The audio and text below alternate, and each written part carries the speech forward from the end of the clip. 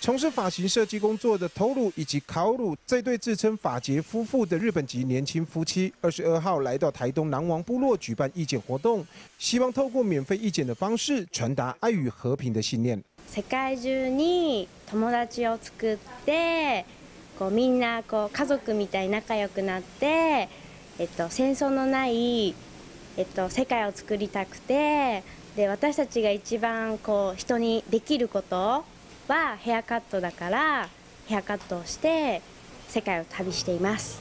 透露以及考鲁结法夫妇从去年九月开始就用义剪的方式环游世界，至今已走访了许多国家，同时也感受到土地与原住民之间密不可分的关系。而这次来到台湾走访部落，希望与族人有更多的互动机会。台東は原住民がたくさんいるから来たかった。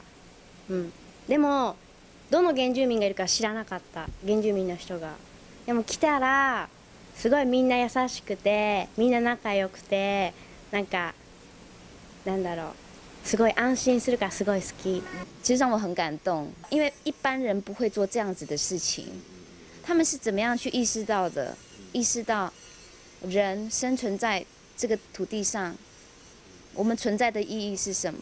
透过意见传达爱与和平。偷路以及考路解法夫妇将持续游走台湾各部落，为更多人意见，同时也希望唤起更多人共同重视土地污染以及原住民族权益等相关问题。